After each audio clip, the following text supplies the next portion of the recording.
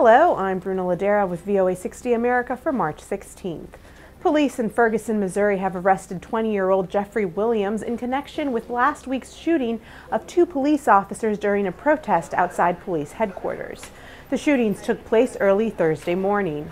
Hours earlier, the police chief resigned in the wake of a U.S. Justice Department report accusing the department of racially biased policing. Both officers are expected to make full recoveries. In New Orleans, 71-year-old millionaire Robert Durst, subject of a popular television series, is under arrest after being charged with committing three separate murders over three decades. Durst had been investigated for the crimes but never convicted. In the final episode of the HBO series, Durst is heard seeming to admit to killing them all.